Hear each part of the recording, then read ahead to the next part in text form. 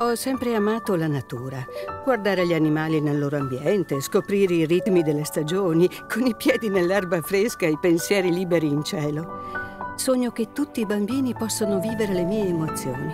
Per questo ho deciso di lasciare parte dei miei beni alla Lipo. Così, quando non ci sarò più, vivrò in ogni battito d'ali.